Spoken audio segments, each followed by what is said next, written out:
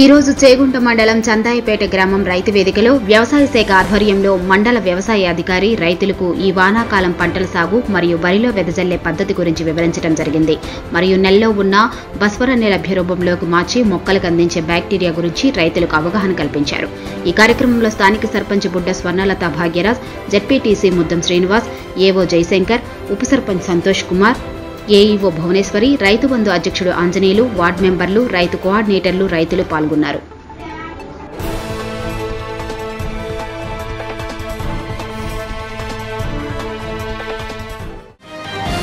Today TV ప్రతిక్షణం ప్రజాపక్షం.